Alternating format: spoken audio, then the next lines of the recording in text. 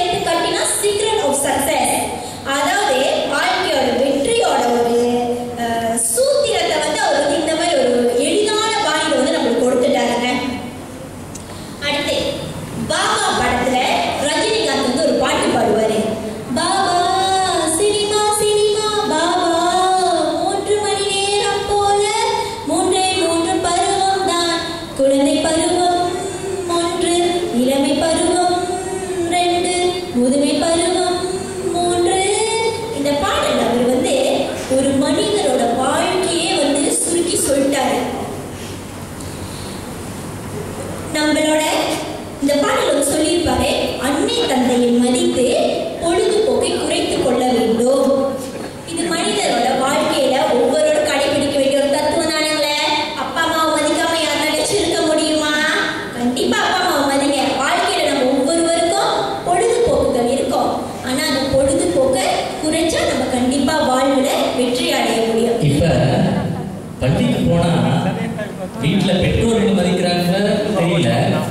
இந்த ஆசிரியர் மதிக்கிறதுலாம் மாணவர்கள் இப்போ மாணவர்கள் நீங்க விரைவில்